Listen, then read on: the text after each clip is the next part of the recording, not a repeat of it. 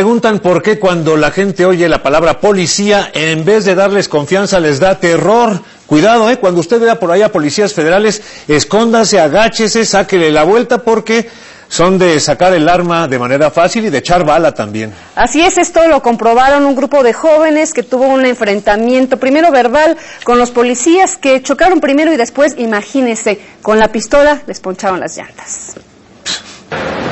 Policías federales accionan su arma de fuego al neumático de un automovilista debido a un conflicto vial.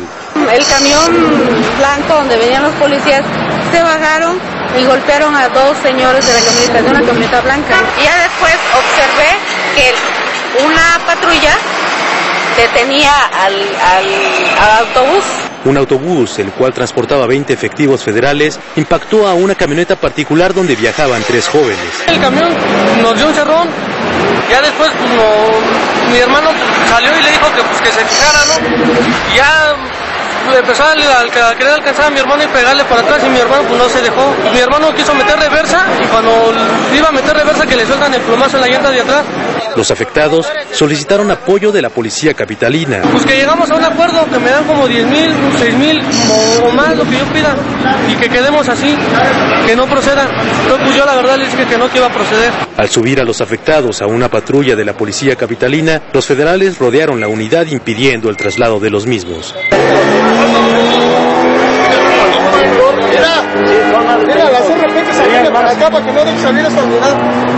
Ante el intercambio de insultos entre ambas corporaciones, fue necesario la intervención del Ministerio Público en el lugar. Ponlos a disposición a ellos, que te identifiquen quiénes les causaron los daños, los pones a ellos,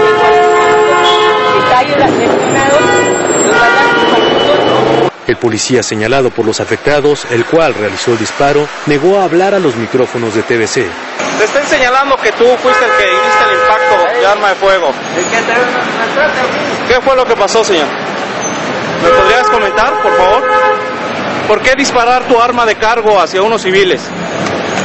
¿Me podrías comentar, por favor? El percance ocurrió en Avenida Universidad, al cruce de Río Churubusco, delegación Benito Juárez, con información de Rogelio López, TVCN Noticias.